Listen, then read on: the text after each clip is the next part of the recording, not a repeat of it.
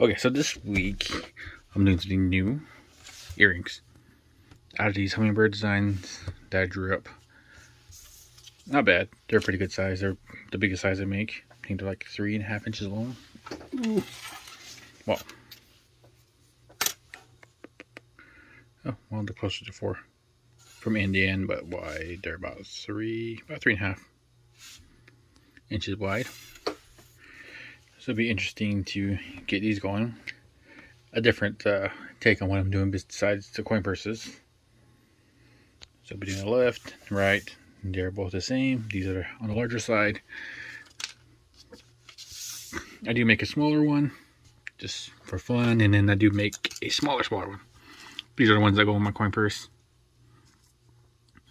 because they fit. They fit around the borders and it works pretty well. Then these ones are just I make for fun, just here and there. But for a really good custom order that needs a lot of detail and a lot of work, then I go for the big, bigger versions. Which maybe I should like sell these three versions on my, my Etsy account. I do sell like my circle graph patterns, but I don't have any right now on me that I can show. Well, other patterns. So I do my tulip patterns. These are the ones I just finished for another lady. Yeah, I keep a bunch of different patterns. So circle patterns one of my favorite one I like to use, and that one I only my Etsy count. Different sizes I use. Tulip ones, I do hand draw those ones a lot. These are smaller versions, and I do a bigger version, which I like because I can add more beads and a lot more detail. Obviously, lotus flower, a lot of people like that, just because I don't know why.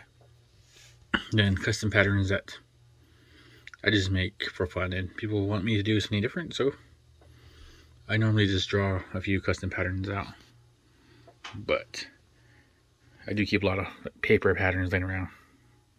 Yeah, you see that in the background. Don't worry about that. I do have like a secret project coming up, but that's later in the works.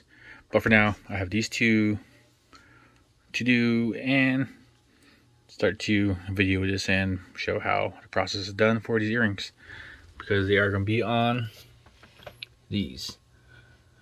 I'll post. You keep a bunch of them laying around.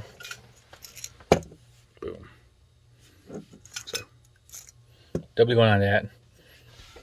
And we have some not so fancy edges but just the round edges like ooh. So so you guys seen this on my other tutorial, but this is actually a smaller um, rope. It's like a two millimeter rope, or like a two mil. It's like a four millimeter rope. It's small, smaller than a paracord. So a paracord, is big. Compare that to this. Yeah. I don't like that part. I want to take apart the air and redo it and make something else out of it. But later projects.